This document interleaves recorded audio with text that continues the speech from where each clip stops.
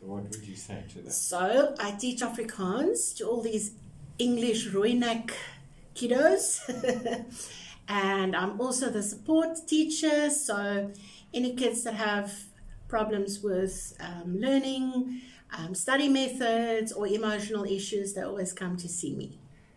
Well, for Afrikaans, I try and make my classes very interesting. So I use a lot of videos and songs and visuals, and I'm sort of the crazy teacher, known as the crazy teacher. But because most of the kids sometimes hate Afrikaans, I really try and make it fun.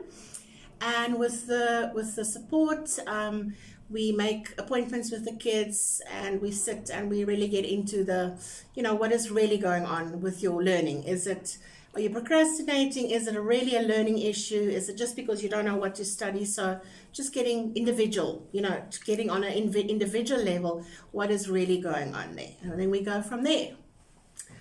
Why? It's a good question because I absolutely love kids and I love teenagers getting into their minds, understanding how they think and yeah, I think I just love kids. I just love. Would, would love you kids. say that that as much as you're teaching them, you, you can learn from them. Oh, absolutely. Absolutely. Just, just repeat it.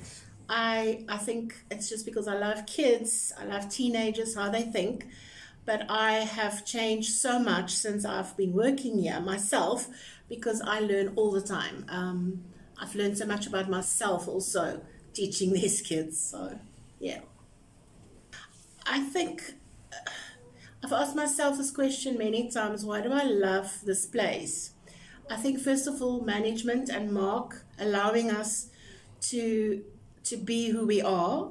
He doesn't watch over our shoulders, so we have that independency and, and we freedom to be creative in whatever we do.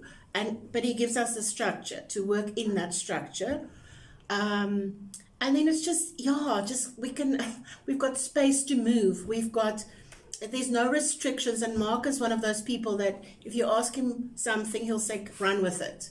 So we've got that absolute freedom of just being who we are at the, or being the best us. No not who we are. That wasn't so good. No I didn't sorry. I'm Afrikaans people.